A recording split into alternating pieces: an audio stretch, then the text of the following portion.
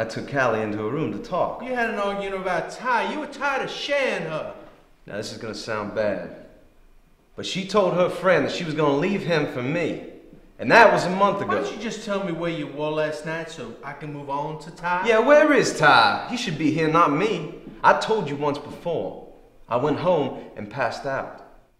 Maybe you do need that lawyer after all. Remember, first one to talk doesn't get the needle. Well, my lawyer's already on his way from New Orleans. Sorry you don't get to beat a confession out of me, detective. So you're from up north, around Meridian, and you came into town to see your girlfriend.